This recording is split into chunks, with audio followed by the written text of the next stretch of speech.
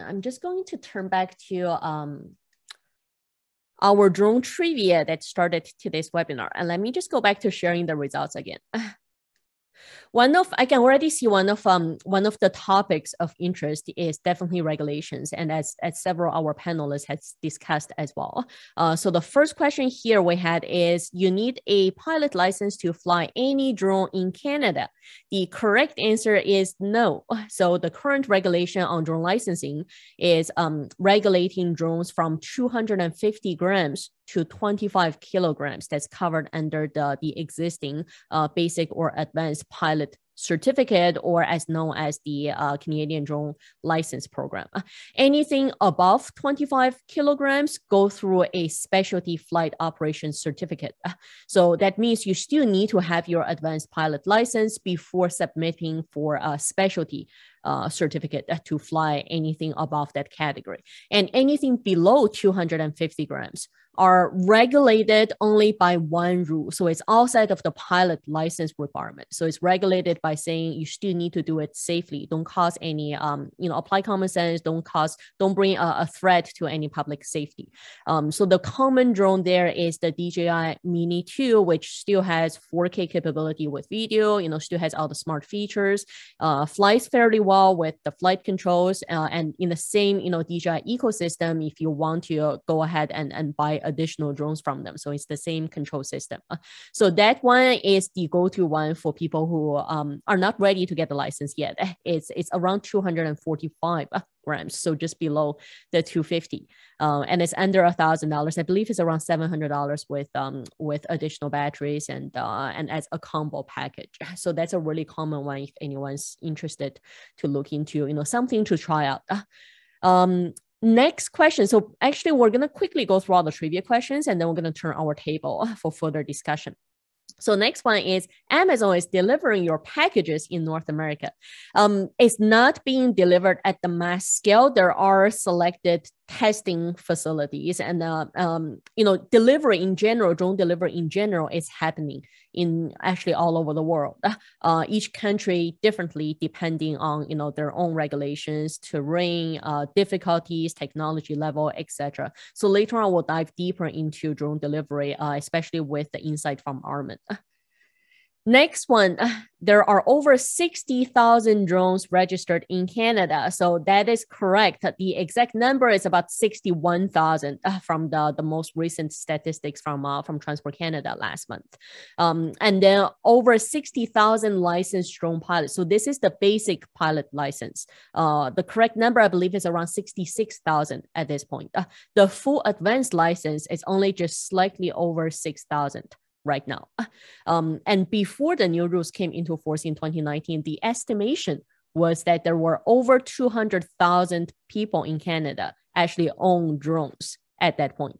Um, so we're now the new regulations kicked in June 1st of 2019. So we're two and a half years since the pilot licensing system came into place. And we have over 60,000, you know, registered over 60,000 drone pilots licensed. So we're about one third of the estimate. And one of the common things we, we get asked a lot is, as you would think two and a half years with uh, the pilot licensing, everyone should know about the, the pilot license process right now. Um, but still there's the large general public who are not aware of the pilot licensing requirements and, and specifically what is required as the pilot license license and what does it actually allow you to do? Oh, that there's still a big gap in that public knowledge. And again you know as as transport canada always says as well it's it's everyone in the industry, it's all the general public and everyone with knowledge of the industry to start sharing more um, and start with more public education to get people to understand.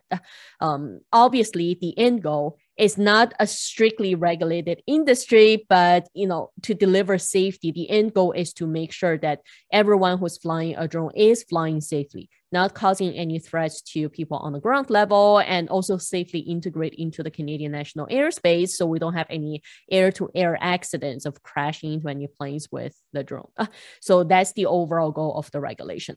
Um, so now I'm also going to turn back to our uh, table for discussion. So let me just stop sharing the trivia right there. We're going to spend about 10 minutes. So we have about 20 minutes left for roundtable discussion. Uh, we're going to divide that in half with 10 minutes discussion specifically on regulations, because that's a big topic in mind. And then the other 10 minutes, we're going to turn a little more to uh, general drone technologies. What, what is the hot topic of interest and what can we explore and do with drones? Um, so starting with the regulation topic, and let me also open the questions and the information I gathered from our panelists before starting the session. Uh, so Chris, I'm going to start with you first because I really liked uh, your input uh, from uh, from our pre-webinar survey. So you, you had some questions asking about from regulation perspective. Um, maybe I'll turn it to you to get the to get the exact question. Um, you had some concerns and questions specifically related to drone regulations. Well, it's not so much that I had questions about drone regulations. I guess my my question, and this is perhaps a question to the panel, is is why is it we feel um, let me take a step back. You mentioned something very important, uh, the notion of drone safety. And I think Transport Canada is, is definitely has some concerns, rightly so, about uh, drone safety. My question was more, uh, maybe for the panel, why do we feel that drones are so heavily regulated compared to other things? Uh, the example I've often used, and the question in my mind, and may come across as a bit naive for some of the panelists, but you have something like Google Street View and you have the Google Street car driving up and down the street, um, taking pictures of everyone's house in a residential area. That's just fine. But when somebody from a municipality wants to go and fly a drone with a camera in it uh, to collect the realignment of a uh, an intersection that's just been paved, there are all these hoops and restrictions on the size, and they can't do this and they can't do that. And I guess my question is there's got to be something more than just the fact that one's on the ground and one's on the air. I just wonder why we, beyond the safety, why is it we feel that there's such strict regulations? Um, so I'll, I'll kick off a little bit and then I'll turn to um, our other panelists. Maybe maybe they have their insight as well.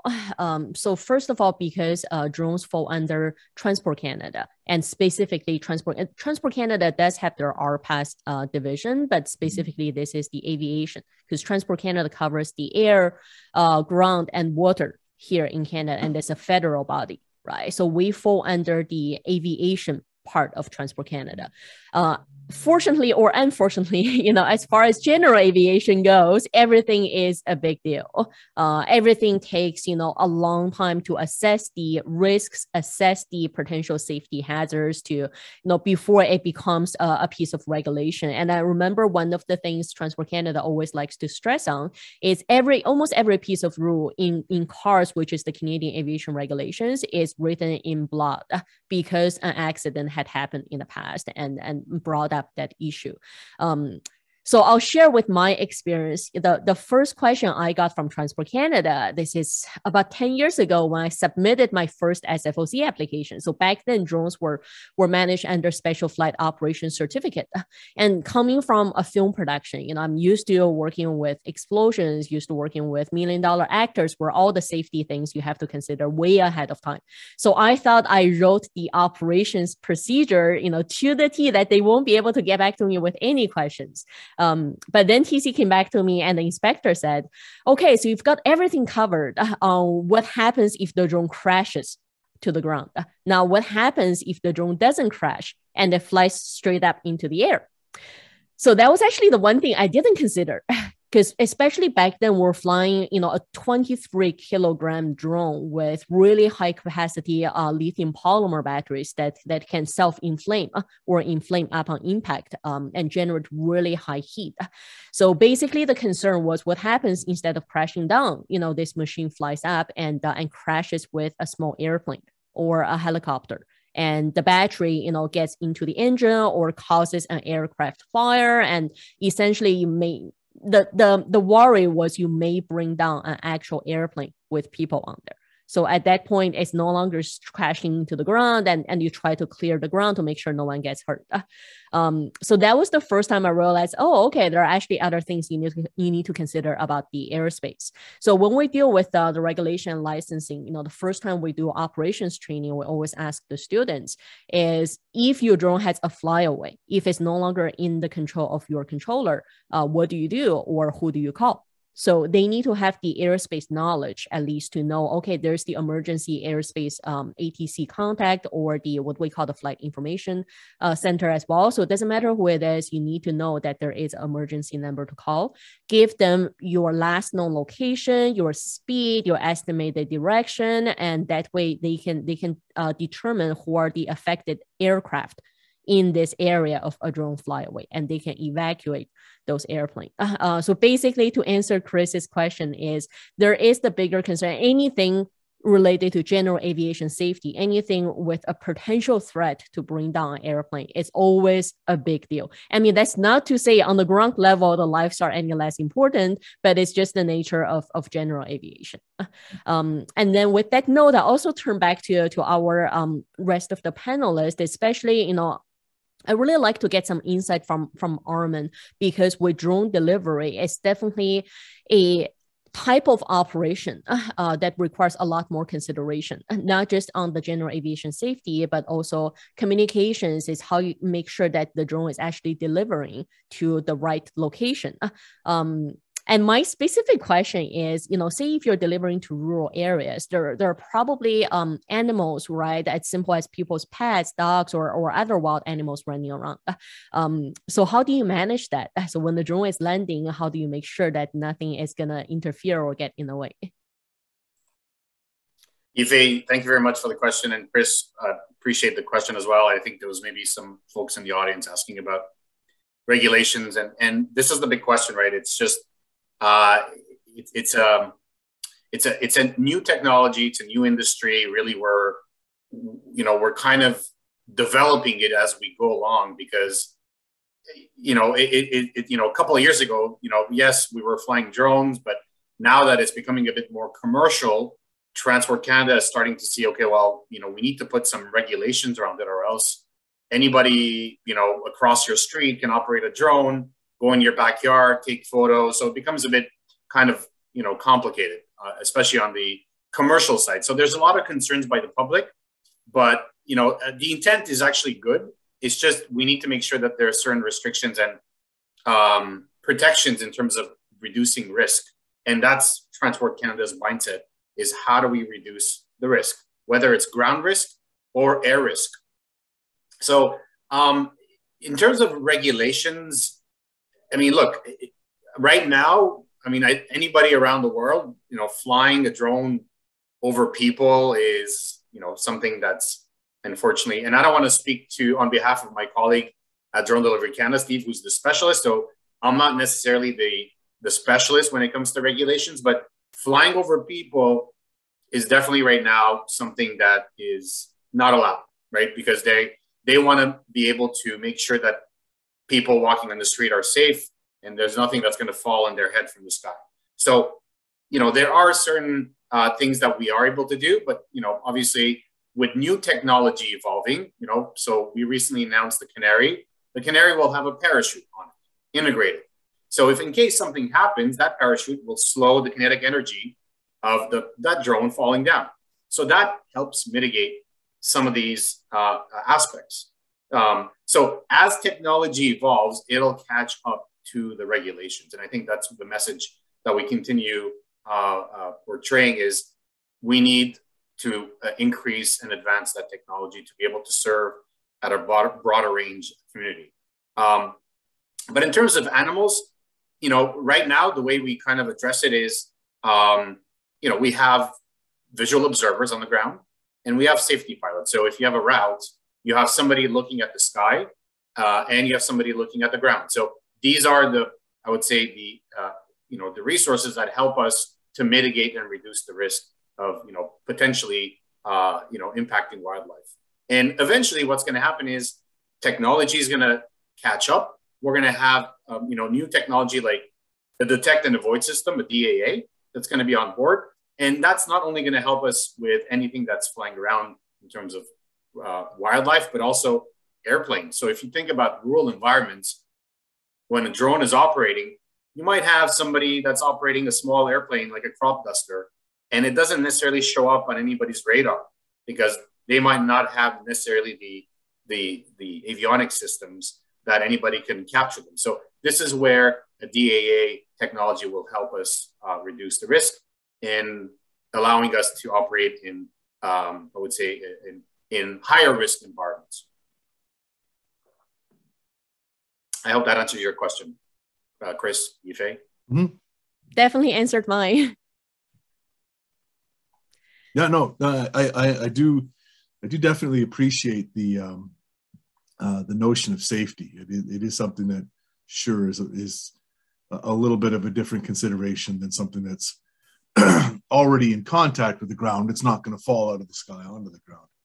Um, I just, but you actually, um, Armen, you you you you raised an interesting point about the, the privacy flying into the backyard, which is another one that I've all I've often um, sort of thought was was very interesting that that notion of privacy, and how I think one of the things that as a drone industry I think we need to do a better job of um, is selling the value of what we do. Because I think you know you bring up drones at the the, the classic cocktail party uh, scenario. Uh, you start talking about people about drones and they think they do two things: they invade privacy or they invade countries, and that's about it. Um, whereas uh, the, we know that there's so many more uh, values uh, and and benefits of drone technology. So, so I think one, people. Sorry. Yeah, and I and I mentioned you know the house because you know oddly enough I I had a some drone follow my backyard a couple days ago. So you know, it's, it's just like you know, you question, you're like, okay, well, you know, what what was the purpose? What was they doing? And and again, it's just you know somebody off the street that just you know uh, you know it could be uh, you know anybody that buys it commercially off the shelf drone. They don't necessarily have you know the the knowledge of operating it. They just want to do it because it's fun and it's exciting. People want to take selfies and you know, but yeah you know, at the end of the day, if that thing falls and you could injure somebody. So this is where Transport Canada is looking at mitigating those risks and making sure that, you know, if, you know, for example, we're walking downtown Toronto uh, and, you know, somebody's operating a drone, it's not going to fall on our heads. Um, and also just going back to you know about flying over uh, backyards, there was I've I've heard actually lots of different business cases being presented by you know people interested in drone technologies, and one of them said, "Oh, I'm gonna go to different munis- municipalities and present a service to them where I can actually go and, and and check for any infringements on city bylaws. So if I just take off with the drone on the street, I can see if someone's cutting their grass, if they had in, any illegal uh, you know build in their yard." Um, and they, they hit a pretty hard, you know, um, legal, legal, legal feedback from uh, municipalities is they were concerned because if you if you're not just regular, if you're not doing any regular check inspection, that you're driving down the street and and people put up fences that you can't see what's behind it. That's different uh, than if you deliberately go flying, you know, down the street and check for any infringement on on bylaws, even just to have that uh, justified in court and maybe actually actually most of them will be thrown out from court because the, the evidence is not captured uh, legally or you know meeting the regulation or meeting the purpose of, uh, of setting up that bylaw. Uh, so lots of things you could do with technologies but definitely you have to be careful with with how you do it. Um, and the one thing i always like to say is are you causing harm to somebody else for from your action right if you're causing harm to somebody else or you know affecting how they're enjoying their private property then definitely that's the wrong thing to do um, so on that note, I'll also quickly turn back to to Amanda and uh, and Trevor. Uh, we'll start with uh, Amanda, especially from Seneca. You know, having lots of relationship with Transport Canada uh, in the past. What's what are your thoughts on drone regulations? Absolutely, thank you, and thank you everyone. I'm learning a lot. I'm taking lots of notes. Um, so there's something that with our MAN program is called airmanship, and it's very tightly tied to the Transport Canada regulations, which, you know, as Yifei said, in blood. Um, they're not there for, uh, you know, decoration. They're there because something has happened. We work within a very strict um, hazard registry to reduce that risk. Um, we have a safety management system for the manned flying. And looking at this new wheelhouse, we've really been working with our safety program and saying, what is this going to look like in the future for unmanned? How are we going to collect data for our safety management system to ensure that we have a registry that looks at hazards for unmanned? Um, in the program so far, we actually have two dedicated courses, one called Human Factors and one called Safety Management Systems, that actually just look at the CARS, the Canadian um, aviation regulations specifically. We have case studies from both um, Part 107 FAA, which is the American, and then also the um, Transport Canada for the students to actually take a look at the man and say, great, we have this in blood doctrination, doctrination of regulatory systems. What does that mean for unmanned systems? So we really want the graduate to untangle these privacy issues, these safety issues, security issues for the unmanned world because we have such a strict Transport Canada manned world already. Um, so they're really going to be the front runners of taking a look at what currently exists and what do we have to continue to look at. The one thing I'll also mention is multi-crew cooperation. So Armen was saying that you have folks on the ground, you have folks that are looking at the data and how is that communication happening in a safe manner. So there's an array of different topics within this program that will create a ready uh, set solution-based graduate for the industry. Thank you, Amanda. Um, and also turning over to Trevor, from research perspective, what have you seen from regulations? I probably don't know the regulations as uh, people here who have to worry about in their day-to-day jobs, but I would agree with, um, as was mentioned earlier, I think it's very natural that is a um, still, uh, I guess, a maturing technology. It's or, or um, emerging or maturing technology. It's still seen with a lot of apprehension by policymakers. Um, I'd also say the risk of um, bad actors, uh, I suppose, and I think, unfortunately, commercial drone usage has um, probably being um, is subject to a high uh, level of rigor, probably due to the um, actions of individuals and kind of um, uh, on personal usage, I think kind of uh, fairly or unfairly. I think it's been kind of tainted by um, maybe like a negative uh, halo effect from um, irresponsible individuals. And, and so I think it's, um, you have very vivid examples of disruption, whether it's um, drones interfering with like wildfire fighting, I know in Western Canada, or airports, the thought that one or more anonymous individuals could take down an airplane by accident or, or just disrupt the traffic in general, like was in the UK uh, a year or two ago. I think these examples are very vivid to uh, policymakers and, and, leads to a lot of um, uh, apprehension in the area. And I think, I mean, maybe this is more philosophical or, or ethically. I think people just um, are a little bit apprehensive about the fact that it's unmanned and, and there's uh, perhaps kind of these sort of risks of, of, this anonymity of kind of like the machines are out there as opposed to like, for example, yeah, a, a Google uh, streetcar being driven around that someone can be kind of held a little bit more accountable. There's, there's someone there is quite tied to the individual. You say, I, I could arrest this person or I know who it is. The fact that it is not a person or not an organization directly kind of tied to that you can see, I think um, raises people's levels of uh, concern. Trevor, you actually raised up a good question. Uh, one of the challenges law enforcement had mentioned is um is if even if you see someone flying a drone, uh, and we we say we see someone flying a drone, but from prosecution perspective is how do you prove that that controller the person has is actually controlling that drone out there? Right? You still need to convince the, the judge and everybody else if that ever goes into the, the, um, the court of law. So that was actually an interesting debate with uh, with the public with the law enforcement officers as well. Um, and one of the things I'll mention just to wrap up our regulation discussion is is enforcement. So we haven't really touched enforcement because as strict as regulations can be without you know actual effective enforcement, it doesn't really mean anything. And enforcement is not really in place or uh, to the degree all the professional operators would like to see. So as Trevor mentioned, you know, there are there are probably individuals doing the wrong acts that's hurting the industry and professional operators who who spend the time and effort uh, to do things right. We don't want to be hurt or damaged because you know that couple of individuals doing things wrong. Uh, um, so we all like to see enforcement coming up more, and it's only with the proper enforcement then we'll see the regulations making sense. We'll see less and less people who just buy a drone and go out, you know, to do anything they like to or they choose to.